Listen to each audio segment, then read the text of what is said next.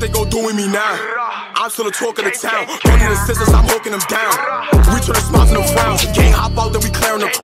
Hey, what's up, y'all? It's Coey from Talk of the Town, and today we have a special guest from Harlem, Raina Simone. Hey, hey, what's up, everybody? How you doing, Coey? How you feeling? I'm good. I can't complain. It's good energy. It's the summertime. You know, like it's dead been a little minute since we had a New Yorker on the couch. Yeah. Yeah, we bring a lot of people from out of town right now, but Oh, I gotta bring it back then. I gotta bring the energy yeah, back. bringing the energy back. All right, so we're gonna do rapid fire questions. I'm gonna ask you some questions. Just say the first thing that comes to mind. oh boy. All right. Okay, n- uh, what word you couldn't spell as a child? Ophthalmologist. I lost a spelling bee because they told me to spell ophthalmologist in like fourth grade. Why would I know that? Hey, O P H T H A L M O L O G I S T. Now I know it. Oh, she never gonna get it wrong now. Never, never, never Period. forget that. All right. Um, one song you hate that everybody loves. Um, you know what? I haven't heard Or a song that I just really favorite. hate Yeah. recently Least favorite song. that everybody loves. That Gangnam Style song from like oh, that was a minute ago. Yeah, I was in, it like, was middle school. kind of annoying after a while. Not gonna lie.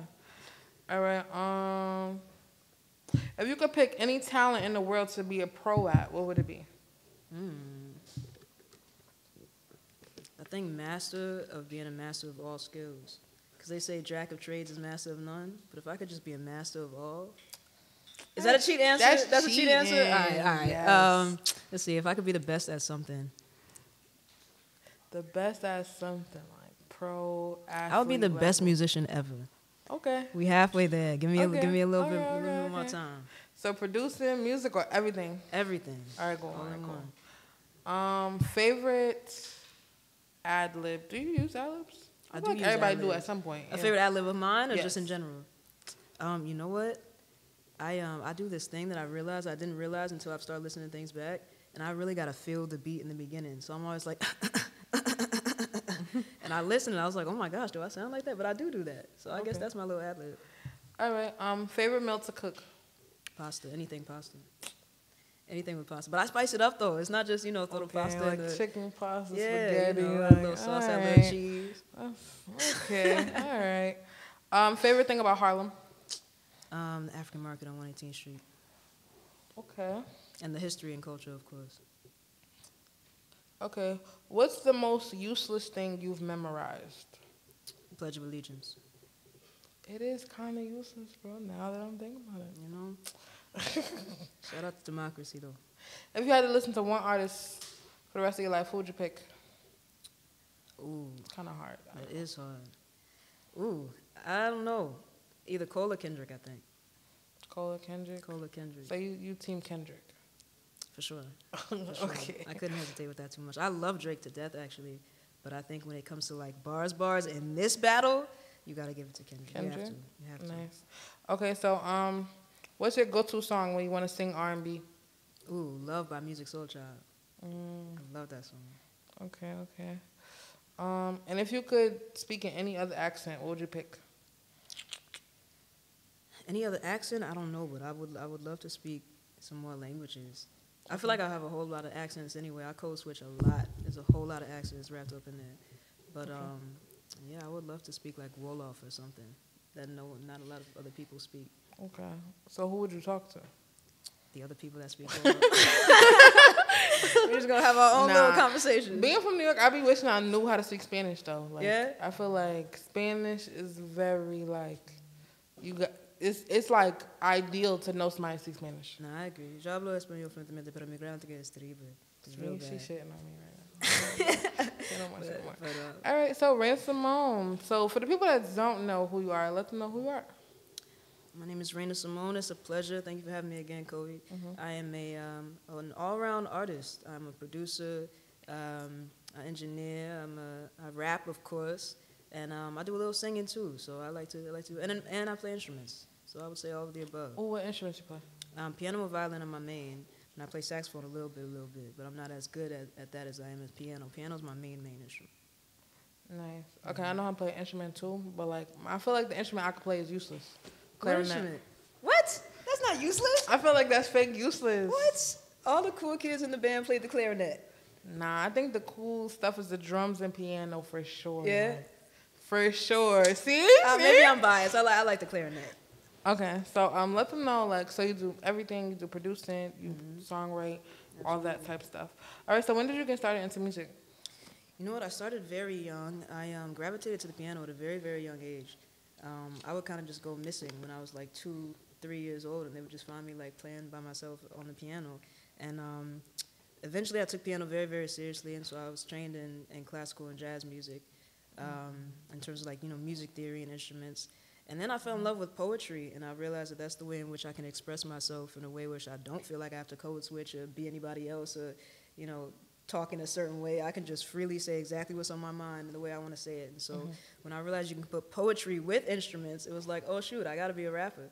Um, and so that's how it really started with, with the rap side. Um, and then I started rapping very, very young, and I had to have been in like middle school. And of course, I couldn't afford my own beats, so I was begging my parents to buy beats for me, and they were like, "We're not doing anything you can do yourself." Mm. So um, yeah, then I started producing, producing too, and putting it all together. Okay. Mm-hmm.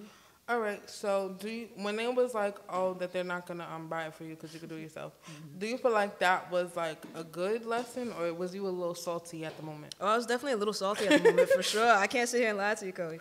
But um, but of course, I, in retrospect, it was very valuable, Okay. very valuable lesson. Okay. So how did you learn how to produce? Because you were at what age at this point? You know what? I started producing in like eighth grade. Okay. hmm But um, I started on the Maschine by Eighth Native is what, like Instruments. 16, 15, 13? I think I was yeah, like 13, 13, 14. 14, yeah. hmm Um, I started on on Maschine by Native Instruments, so you know that's the the drum pad, Mm, um, which is really like a sampling machine. So that's where I started. Um, then I also had a Clavinova Yamaha, a Yamaha Clavinova, which I um, which is a, a piano but like a workstation piano. Okay. Um, so I started on those two machines. so I was how did you middle know to get this stuff? Is what I'm saying. School. You know what? No, actually, YouTube? I don't University? even know. I just started doing research, and you know what? I was obsessed with AraabMUZIK at the time. Okay. If you all are familiar, and Araab uses the MPC 5000, Mm. um, and so I fell in love with those, you know, those drum machines. But the MPC 5000 was like five thousand dollars. Oh. But um, you know, Maschine still did it what I needed to do, but reasonably priced, and you know, in a way that I could figure it out more quickly. And so we stuck with Maschine. I still use Maschine to this day. So, yeah, like like ten years later, we still use Maschine. Okay, so do you find yourself like producing music for yourself, or do you still go out and look for beats? You know what? I, I do produce a lot for myself. That's always like my, my first thing to do. Because, uh, you know, I'll start making a beat and I'll just get lyric ideas automatically that I just feel like I have to put down. But I will say, recently I've, I've discovered the power of just collaboration and meshing genius. You know, you got two geniuses versus one in the same room. Mhm. That's you, you can't lose. So um, I love working with, you know, like-minded producers too. Okay. But I always have to like add a little something. Of course, of course, of course. How do you feel about the producing game right now? I feel like this year producers have been on the rise. Yeah? Yeah. I think it's a very healthy state for production, but I think I think pr- production's getting lazy a little bit. It's a lot easier now when you have you know a whole bunch of royalty free Oh, like samples to. oh, you talking about like when you actually making a beat? I'm talking Uh-huh. about like just kind of producers getting their spotlight right now. Oh yeah, yeah, yeah. I That's what I definitely, mean. I, definitely see that happening Yeah, yeah, more and that's more, what I'm which. I love. Um, I'm not in the booth with them. I don't know what's. what's going on I don't know what the happens over there, but But on a spotlight tip, I do feel like a lot of producers have been getting flowers lately. no, absolutely. I think I think producers are realizing how lucrative it can be when people know the producer as well. Right. So you know, it started with just the tags and making sure the beats were tagged, so we knew the producers. And now I feel like producers are really marketing themselves as you know, almost like artists. Mhm. Um, well, yeah, as artists, which producers are. So I definitely think it's a really a really cool time period for production. And um, okay, so you produce most of your music, but Yes. you are into the collabing phase right now. Yes. Um, who's some people you've been collabing with lately? Um, you know what? DJ Chop a lot um, from down in the boot from Louisiana. We have a, a, uh record that we co-produced on on my project coming up. Um, Nicholas Craven, who does a lot with you know the Griselda type sound and Ransom, um, and and and those kind of that. What what would you call that? Kind of like that classic hip hop, sultry kind of hip hop Yeah. sound.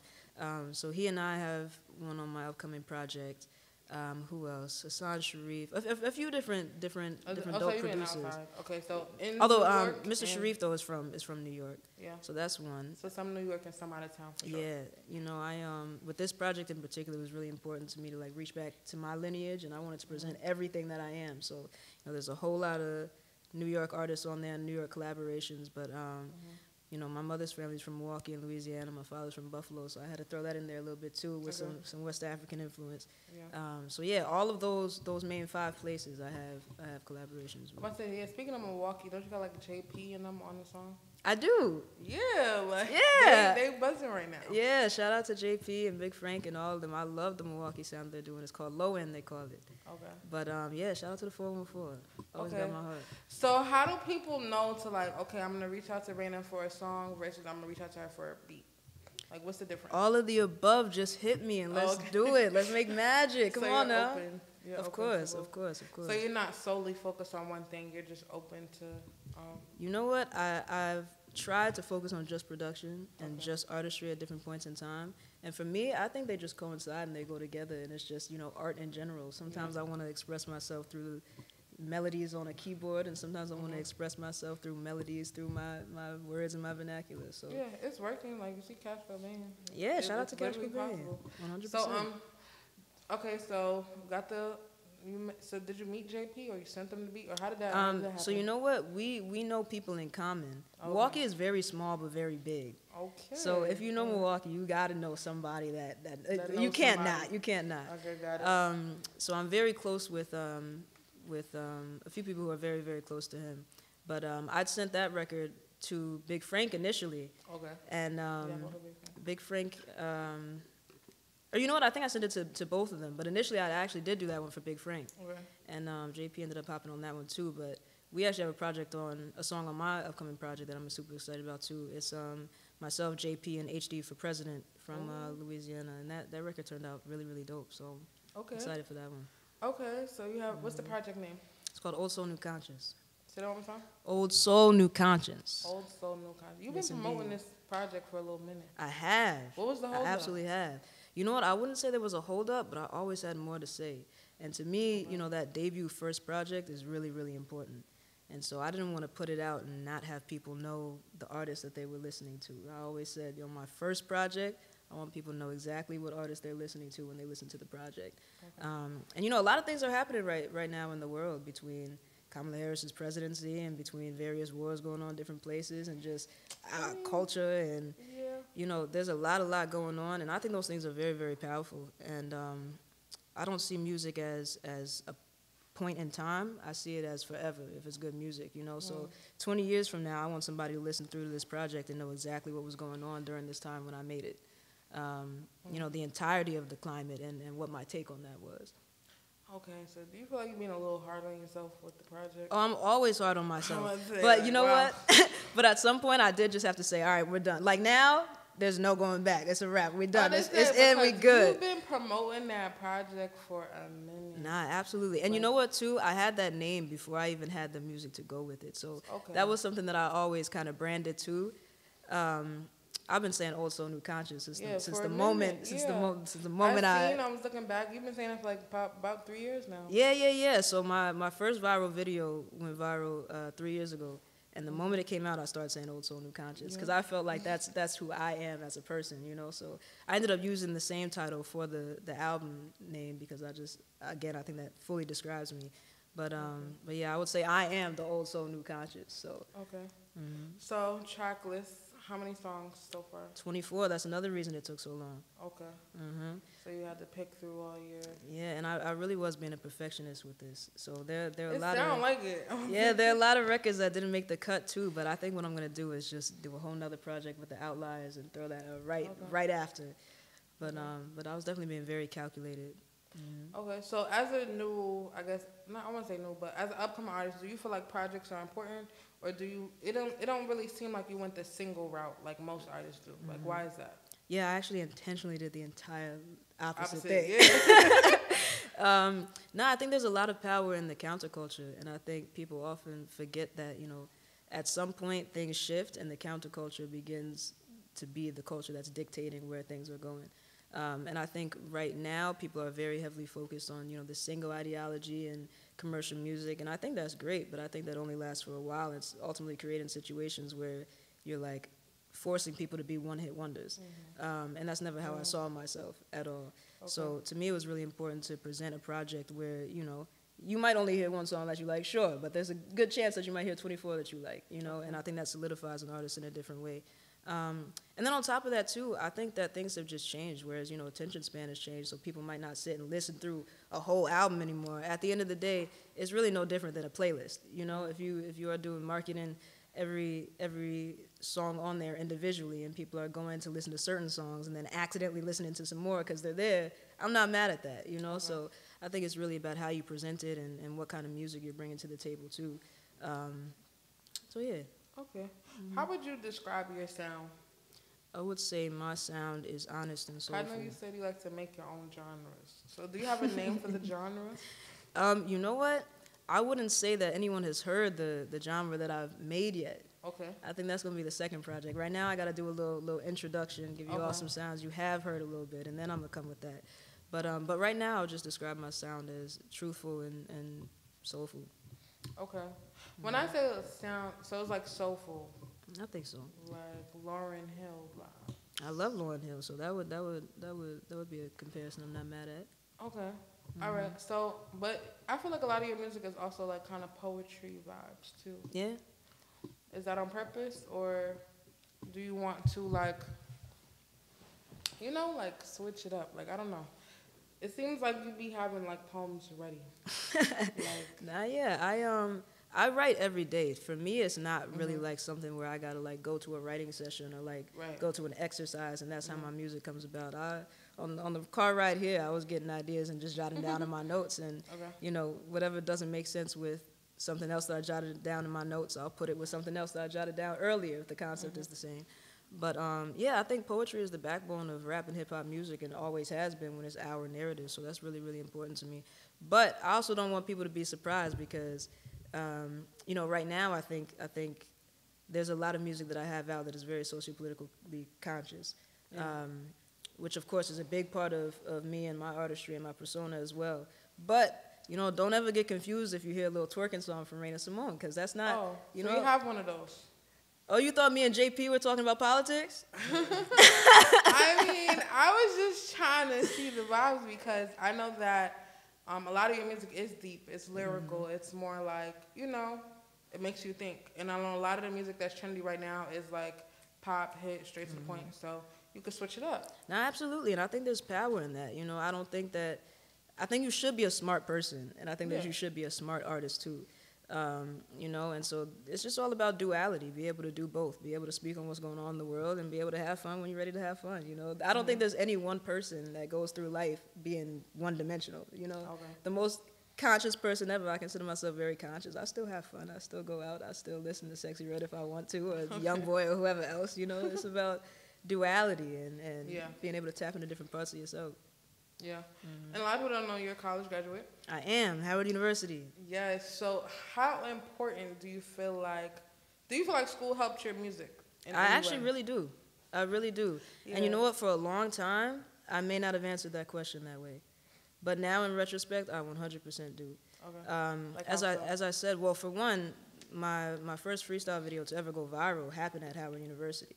oh wow. Really? Yeah, yeah, Nice. and um, you know, of course, I don't even know if that would have happened if I wasn't at Howard. Howard is a community that that you know really Yeah. supports and, and pushes 100%. So, you know, I, once 100 classmates shared that, it was easy for it to, to you know, pretty much go viral. But Yeah. that aside, there are a lot of opportunities awarded to us. And when I say us, you know, I mean youth of color just by going to college that we wouldn't otherwise have access to. Yeah. Um, and so that's super, super important, whether it's networking or just understanding and knowing certain things. Yeah. I've had people try to hold me on so many contracts that they can't because I know what I'm talking about. Mm. Um, and you know, things like that are important. And so even if you're, even if your reason to go to college is not strictly to learn in academia, Mm-hmm. just being in that space and that freedom and the access to opportunity that otherwise might not be in the city, I think is super, super important for us in particular. College is, is an experience. I feel like you definitely Absolutely. have to go to like see. And that too, I Mhm. have so many experiences to talk about and so many different ways that I now think about what I approach in my music, Mhm. just because of that experience that I had. So No, definitely. Mm-hmm. Yeah, a lot of people. Was it a major like music or was it something else? not at all. Guess guess what my major was, Coey? I feel like it's kind of obvious. I don't know. Psychology. No, actually, but I love psychology. Damn. But I was a political That wasn't science. a close guess. Like. Yeah. Now I was sociology was, one of my minors. I was a political science and philosophy uh, major, economics and sociology minor. So I was all over the social sciences, but um, but I was always a music person. That's why I, I think it's another great reason to go to college. Um, you know, I knew how to how to rap and how to produce without needing my education in that. Mm-hmm. Um, but of course, that is such a competitive world where people are always like, you know, don't have a number two because then you're not going to make your number one. Yeah. I don't really believe in that. I think you should go absolutely hard with one thing 100%, but you should always have a means to make it easier to go hard at that one thing. And so, you know, when you have something like your education to fall back on, you know, that also comes with, you know, access to, to more financial opportunities and everything else when it comes to investing in the music. So, you know, these, these things all come together. Okay. Mm-hmm. So you say you believe in going all in on one thing for sure. 100%. So you're currently right now all in on music for all sure. in. All so in. when did you get all in? Because of course college mm-hmm. took some years. So when did you get all in? Even though you was producing from young. Mm-hmm. You know what? I think when things really by the second viral video, I realized like, okay, now it's happened another time. Mm-hmm. So all right, that's that's there's obviously a market for what I'm talking about, and obviously there's some sort of audience that wants to hear it. So mm-hmm. after that, I, I hit the ground running. That was 2022. Okay, so a lot of people, a lot of the kids right now think that they can make something go viral. What do you, what do you have to say about that? You know what? I think engineered virality is very fast-lived, and you have to be very, very careful. When it happens naturally, you know, people, that's real people gravitating to it, which means they're going to gravitate again you know, there are certain pieces of mine where, regardless of when when I, I post it or where, I know which pieces are going to get certain reactions and have the ability to go viral by themselves. Um, so yeah, I think that's important. You got to be very very careful with engineered virality because, like I said, we're in a a sort of commercial type of space with with the music industry where it's very easy to just be a one hit wonder. And you know, once you have that viral moment, it doesn't like there's more that you know you got to have. What's the next thing? What's coming next? Um, and so, what have you done for me lately? Type of world. So, just going viral is not enough, especially when it's so easy to go viral now. You mm-hmm. know, um, every day somebody's waking up yeah, more viral, viral, than they were yesterday. You yeah. know, whether it's TikTok or Instagram, that's almost inevitable now. So, yeah. Yeah, that's definitely a great thing. Be proud of that, but always take it further and always understand it as a moment to to grow from, to elevate that virality further. At the time that when when at the time when you went viral, were you ready? or did it catch you off guard? You know what? It definitely caught me off guard, but I, I, part of me was prepared. Okay. Part of me was prepared. Actually, the very first time I went viral was the eve of my, my birthday, and my sister just randomly posted a, a video on TikTok. I was always kind of oh. anti TikTok. Oh, I was gosh, like, okay. you guys want me to get on there and like dance and like. but TikTok uh, is it has a stigma. I'm you know what? It's grown on me though. I can't I can't lie. It's grown on me a little mm-hmm. bit. But um, but yeah, so she she posted that, and I, I woke up with like 160,000 followers and like three million views by accident. Um, so you know, in some regard, how do you prepare for that?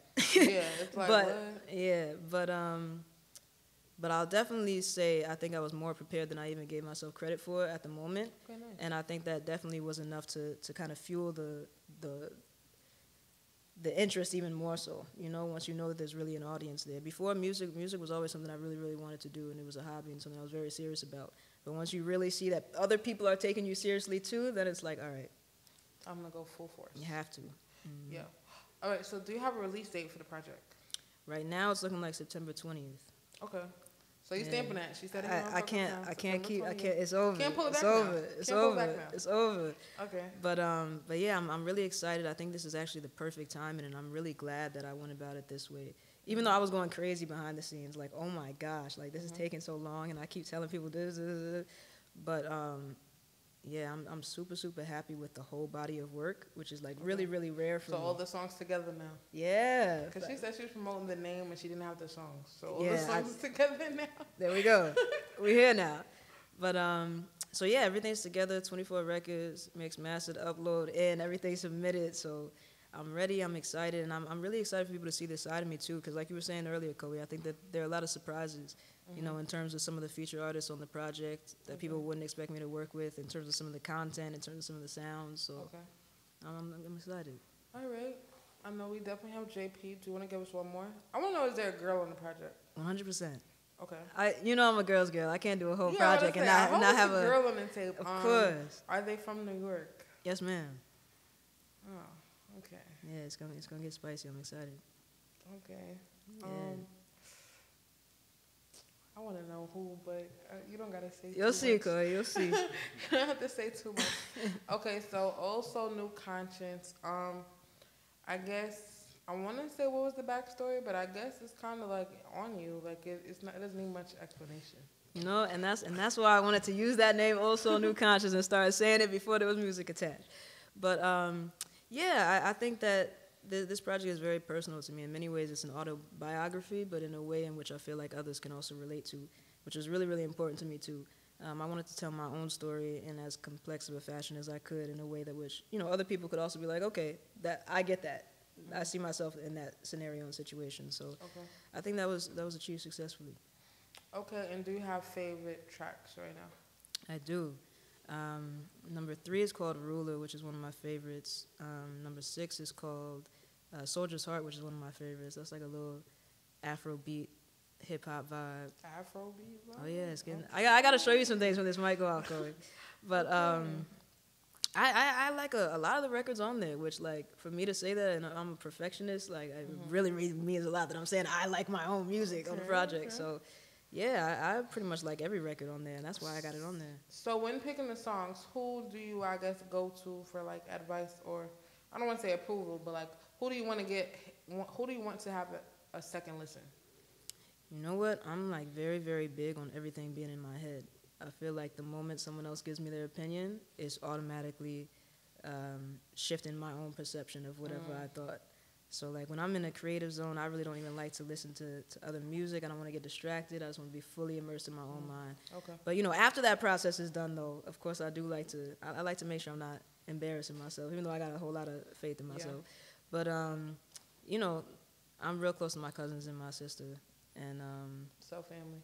yeah, absolutely. Okay. I, I, li- That's I That's nice. That's nice. yeah, Okay, so September 20th, we got a couple people on the project. yes, Um, indeed. Let's get some, I guess, motivation behind the project. Oh man, I felt like a lot of people aren't rapping right right now. I had to, Aren't I had to, right I had to come in. I had to come in and and say what I had to say real quick. Okay. Yeah.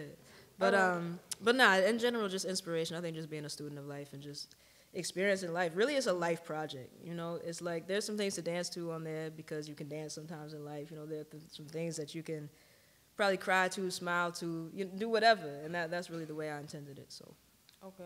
And Mm-hmm. if someone's never heard your music, what song should they listen to on the project first? definitely listen to number nine called Black Messiah. Okay. So if they never Rand Simone, definitely number nine. Yes, ma'am. All right. September 20th. Is there any last words? Um, you know what? I'm just super excited for people to, to hear this music that I've, I've been working on for, for so long and um, really making sure was, was exactly how I wanted it to be. So now's the time. I'm ready to throw it out there. I'm ready to, to hear what everyone has to say. And, and that's it. So thank you for everyone who's supported thus far. And um, there's a whole lot more to come. So if you're still here, I promise it's going to be worth it. There's about to be even more incentive. Watch this. And uh, thank you for having me too, Coey. I appreciate it. Yep. September 20th. So tell people where to find you. How can they tune in? Absolutely. You can find me everywhere Raina Simone, Spotify, Apple Music, um, SoundCloud, YouTube, all, all the streaming platforms, Raina Simone. And then my socials all right now are at RSH on the beat. That so that's an interesting story, Coey. So? RSH on the beat was originally just my producer name because I was obsessed with with mustard on the beat when I was little. Yeah. So as soon as I heard mustard on the beat, oh, I was like, well, I'm RSH on the beat now. But um, but with that being said, so yeah, you can find me everywhere at RSH on the beat on all socials. Um, I'm trying to make it such that it's at Raina Simone everywhere on all socials very soon. Yeah, about to say that's gonna be a little confusing. Yeah, they they trying to get me. They they're not letting me have the Raina so Simone how name. many of your songs you produced on your project, or all of them? Um, the vast majority, definitely over half. Um, anything that I that I didn't produce is definitely co-produced. Okay, nice. Mm-hmm. For sure. So RS on the beat. RSH on the beat, Raina Simone on all platforms.